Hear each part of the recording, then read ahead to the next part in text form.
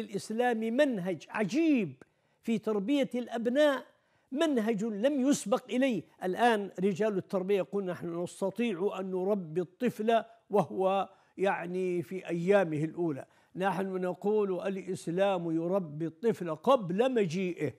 قبل مجيء الطفل يربيه؟ نعم يربيه لأن الإسلام قد أمره ربه أمرنا ربنا سبحانه وتعالى أن نختار عندما نريد أن نتزوج أن نختار المحضن الصالح. تنكح المرأة لأربع لمالها ولجمالها ولنسبها. أي نعم ولدينها فاظفر بذات الدين تربت يداك. إذا هو قبل أن تأتي يكون قد وفر له المحضن الصالح. ثم إذا كان في بطن أمه وكانت أمه من ذوات التلاوة لكتاب الله عز وجل المحبة للقرآن والله ثبت يا إخواني اليوم لا يتكلمون العلماء عن ما يصل إلى العقل الباطن لهذا الطفل الذي كان القرآن يتوافق مع فطرة الله عز وجل. لأن الله يرسل إليه ملكا وهو في بطن أمه فينفخ فيه الروح. هذه الروح هي جسم نوراني علوي.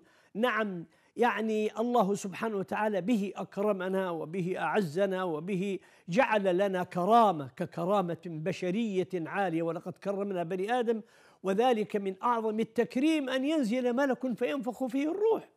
فهذا النفخ في الروح نفخ الروح فيه شكل فيه فطرة نقية. وإذا به يستمع من امه ويتتلو القرآن.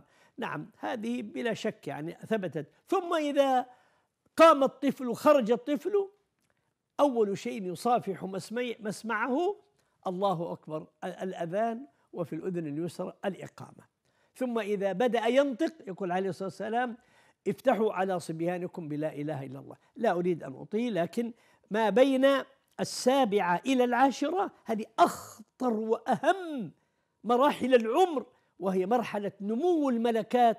ولهذا أمرنا الله عز أمرنا ربنا على لسان نبيه عليه الصلاة والسلام قال مروا أبناءكم للصلاة لسبع ويعني نأمرهم بها وإذا أمرناهم بالصلاة أمرناهم بغيرها لماذا؟ لأن هذه السن بالذات تنمو فيها ملكة الحب والكره والرغبة والتملك والكذا واكتساب المعارف اكتساب العادات اكتساب الكلمات فأوصانا بأن نهتم بها